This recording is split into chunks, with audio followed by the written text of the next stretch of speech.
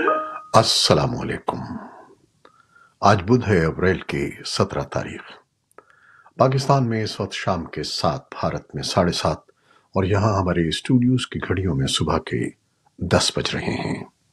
Voice of America Washington की Urdu service से मैं हूँ खालिद हमीद, खबरों के एक बुलेटिन के साथ। पाकिस्तान के वज़ीर आज़म शाहबाज शरीफ ने बुध के रोज कहा है कि ईरान के सदर इब्राहिम रईसी बहुत जल्द पाकिस्तान का दौरा करेंगे। इस दौरे की खबरें ऐसे वक्त में सामने आई हैं, जब अमेरिका और उसके इतिहादी इसराइल पर उसके गैर मामूली हमले के लिए ईरान के खिलाफ नई पाबंदियाँ लगाने का मंसूबा बना रहे हैं और इसराइल को एक बड़ी कशीदगी से रोकने की कोशिश कर रहे हैं। शाहबाज शरीफ के दफ्तर ने काबीना की मीटिंग के बाद रईसी के दौरे के बारे में एक बयान जारी किया जबकि पाकिस्तान ने इससे कबल यह इशारा दिया था कि ऐसा हो सकता है। नशियाती इदारे जियो न्यूज़ ने जराये के हवाले से बताया कि ईरानी सदर 22 अप्रैल को पाकिस्तान पहुँचेंगे। ताहम पाकिस्तान के दफ्तर खारजा ने राइटर्स की रिपोर्ट पर तबसरा करने की दरखास्त का जवाब नहीं दिया। पाकिस्तान से हमारे नुमाइंदे नज़र इस्लाम ने खबर दी है कि पाकिस्तान के बर्री फौज के सिपह सालार जनरल आसिम मुनीर ने कहा है कि अफ़गानिस्तान में सरगर्म दहशतगर्द गिरोह, पाक चीन इकतसादी राहदारी सी पैक मनसूबे के खिलाफ प्रॉक्सी के तौर पर काम कर रहे हैं। ये बात उन्होंने मंगल के रोज दो सौ चौसठवीं कोर कमांडर कॉन्फ्रेंस के इनका के मौके पर की। पाक फौज के शोबे ताल्लुकात आमा की जानब से जारी करदा बयान में मजीद कहा गया है कि अफ़गानिस्तान में सरगर्म दहशतगर्द गिरोह न सिर्फ़ इलाकाई, बल्कि आलमी सलामती के लिए भी खतरा है।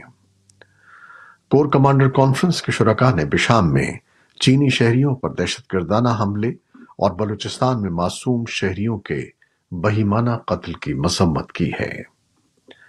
Army chief general Asim Munir का यह बयान एक ऐसे वक्त में सामने आया है, जब सूबे खैबर, पख्तूनख्वा और बलूचिस्तान में दहशतगर्दी की कार्रवाइयाँ शिद्दत इख्तियार कर गई हैं। ताहाल अफगान तालिबान की जानब से आर्मी चीफ के बयान पर कोई रद्द अमल सामने नहीं आया है, लेकिन माजी में अफगान तालिबान ने न सिर्फ़ पाकिस्तानी बयानात को रद्द किया, बल्कि टीटीपी को पाकिस्तान का अंदरूनी मामला करार दिया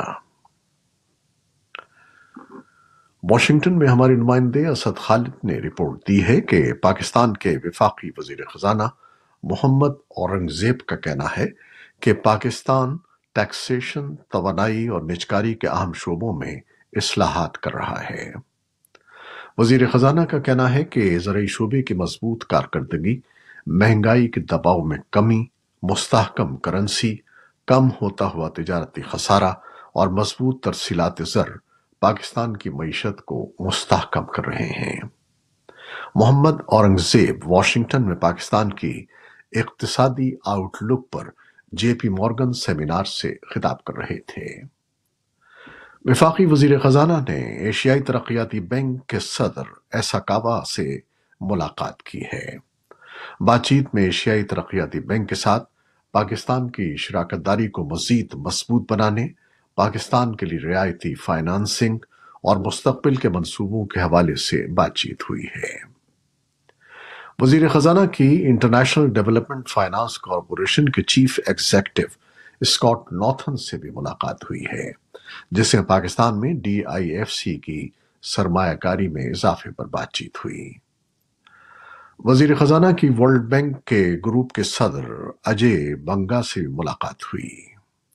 पाकिस्तान और वर्ल्ड बैंक ने 10 साल के लिए रूलिंग कंट्री फ्रेमवर्क प्लान की ज़रूरत पर भी इत्तेफाक किया। आलमी बैंक के सदर ने मीशत के इस्तेकाम और महसूलत में इजाफे के लिए, पाकिस्तान के असलाहत और डिजिटलाइजेशन प्रोग्राम के लिए आलमी बैंक की तरफ़ से ताउन की पेशकश की। अमरीका ने पाकिस्तान की माशी कामयाबी के लिए गैर मुतजलजल हिमायत का इजहार किया है। पाकिस्तानी वज़ीर खजाना की आई एम एफ़ से नए कर्ज के माहदे पर बातचीत से मुतल हफ्तावार ब्रीफिंग में पूछे गए एक सवाल के जवाब में अमरीकी महकमे खारजा के तर्जमान मैथ्यू मिलर ने कहा कि हुकूमत, हम हुकूमत हम हुकूमत पाकिस्तान को तरगीब देते हैं कि वो अपने माशी चैलेंजों से निपटने के लिए इकतसादी असलाहत को तरजीह दे और उसमें तोसी करे। उन्होंने कहा कि मुल्क की माशी कामयाबी के लिए हमारी हिमायत गैर मुतसलसल है। पाकिस्तान की वजारत दाखिला का कहना है कि हुकूमत पाकिस्तान के अहकाम की पासदारी न होने पर सोशल मीडिया एक्स पर पाबंदी लगाना ज़रूरी था। हुकूमत के पास एक्स की आर्जी बंदिश के अलावा कोई और रास्ता मौजूद नहीं था। वज़ीर इतलात का कहना है कि यह मामला अभी अदालत में है। मुल्क में एक्स की बंदिश को दो माह मुकम्मल हो गए हैं और अब उसके खुलने के आसार कम नज़र आ रहे हैं। भारत के वज़ीर आज़म नरेंद्र मोदी और वज़ीर दिफा राजनाथ सिंह के घर में घुसकर मारने के बयान के बाद नई दिल्ली में यह बहस छिड़ गई है कि क्या दूसरे मुल्कों में दाखिल होकर टारगेट किलिंग भारत की खारजा पॉलिसी का हिस्सा है। बरतानवी अखबार द गार्डियन में शायद एक रिपोर्ट में दावा किया गया था कि भारत ने सन 2019 में पुलवामा हमले में 40 जवानों की हलाकत के बाद पाकिस्तान में टारगेट किलिंग्स की 20 कार्रवाइयाँ की है। जबकि पाकिस्तान ने कहा है कि भारतीय कैदी सरबजीत सिंह पर हमला करने वाले मुलजिम आमिर सरफराज तांबा पर हमले में भारत के मुलवस होने का शुबा है। भारत इन इल्ज़ाम को मुस्तरद करता है। अमेरिका ने कहा है कि वो इसराइल पर हमले के बाद जल्द ही ईरान के मिसाइल और ड्रोन प्रोग्राम पर नई पाबंदियाँ आयद करेगा और ये कि वो अपने इतिहादियों और शराकतदारों से मुतवाजी इकदाम की तो रखता है। अमरीकी कौमी सलामती के मुशीर जेक सलेवन का यह ऐलान वज़ीर खजाना जैनेट येलन की जानब से ताजीरी इकदाम पर काम करने के इशारे के बाद सामने आया है और यूरोपीय यूनियन की खारजा पॉलिसी के सरबराह जोसेफ बोरेल ने कहा है कि उनका दफ्तर इस पर काम कर रहा है। इसराइल को बुध के रोज अपने इतिहादियों की तरफ़ से दबाव का सामना करना पड़ा है कि वो ईरान के हमले के जवाब में उस पर हमला करने से बाज रहे। क्योंकि वॉशिंगटन और ब्रसल्स ने ईरान के खिलाफ पाबंदियाँ बढ़ाने के अज़म का इजहार किया है। बरतानिया के वज़ीर खारजा डेविड कैमरॉन और उनकी जर्मन हम मनसब एना लीना बाबरक पहले मगरबी एलची थे, जिन्होंने इसराइल का दौरा किया और ईरान के हमले के बाद पुरअमन रहने की अपील की। इसराइल ने जवाबी कार्रवाई का अज़म ज़ाहिर किया है। इसराइल के वज़ीर अजम बेनियामिन नेतन्याहू ने बरतानिया और जर्मन वजरा खारजा को बताया कि इसराइल को अपने दिफा का हक है। दूसरी जानब ईरान ने इसराइल पर अपने ड्रोन और मिसाइल हमले की कामयाबी का जश्न मनाते हुए बुध को सालाना फौजी परेड का इनका किया।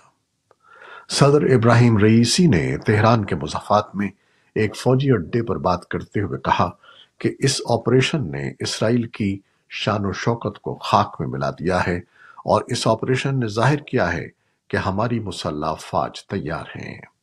इसराइल ने इस हमले का जवाब देने के अज़म का इजहार किया है। अकवा मुतहदा के एक सीनियर इमदादी एहलकार का कहना है कि उनका इदारा अब भी गजा की पट्टी में कहत को रोकने के लिए जिद्दोजहद कर रहा है। हालाँकि इसराइल के साथ हम आहंगी में कुछ बेहतरी आई है। ताहम इनक्लेव में, इमदाद की तरसील में अब भी मुश्किल का सामना है। जेर कंट्रोल फलस्तीनी इलाके में अकवा मुतहदा के इंसानी हमदर्दी के उमूर के रबताकारी के दफ्तर के सरबराह आंद्रिया डी मोनेको ने कहा कि गजा के अंदर इमदाद की तरसील में अहम चेक पॉइंट्स पर ताखीर का सामना है और गुजशत हफ़्ते शिमाली गजा तक इमदाद पहुँचाने के लिए अकवा मुतहदा की इकतालीस फ़ीसद दरखास्तों को मुस्तरद कर दिया गया था। कतर के वज़ीर आज़म ने बुद्ध को कहा कि इसराइल और हब्बास के दरमियान गजा में जंग बंदी और यरगमालियों के तबादले के लिए मुजाकरात तातुल का शिकार हैं। शेख मोहम्मद बिन अब्दुलरहमान अस्सानी ने एक न्यूज़ कॉन्फ्रेंस में बताया कि हम कुछ इख्तलाफात के साथ हसास मरहले से गुजर रहे हैं और इन रुकावटों को दूर करने की हर मुमकिन कोशिश कर रहे हैं। अमेरिका के सदर बाइडन आज बुध को चीनी धाती मसनुआत पर तेज़ी से ज़्यादा टैरिफ लगाने का मुतालबा करेंगे, जिसका मकसद पेंसिल्वेनिया स्टील वर्कर्स को खुश करने के लिए पॉलिसियों के एक पैकेज का हिस्सा है। इंतजामिया के एक एहलकार के मुताबिक पिट्सबर्ग के स्टील सिटी में इंतबी मुहिम के दौरान बाइडन से तो है कि वो अपने पेशरा डोनाल्ड ट्रंप की तरफ़ से चीनी स्टील और एल्युमिनियम की मसनूआत पर आयद करदा महसूलत को 25 फ़ीसद तक बढ़ाने की तजवीज पेश करेंगे। यूक्रेनी हुकाम ने कहा है कि बुध को एक मोहलिक रूसी मिसाइल हमले ने शिमाली शहर चर्निह्यो को निशाना बनाया। चर्निह्यो के मेयर ओलेक्जेंडर लूमाको ने टेलीग्राम पर बताया कि हमले में कम अज कम 11 अफराद हलाक और 20 से जायद जख्मी हो गए हैं। इलाकाई गवर्नर व्याचस्ला विचास ने कहा कि कई मिसाइल शहर के मरकज के करीब गिरे हैं। चार्ल्स ने कहा कि शहरियों में बहुत से जख्मी हुए हैं। सदर जेलेंस्की ने मंगल को अपने रात के खिताब में कहा था कि वो नेटो यूक्रेन काउंसिल के अजलास से दरख्वास्त करेंगे कि फजाई तहफ़ तैयारा शिकन, जंगी सामान की फराहमी मुतल निज़ामों और मिसाइलों पर तबादले ख्याल किया जाए।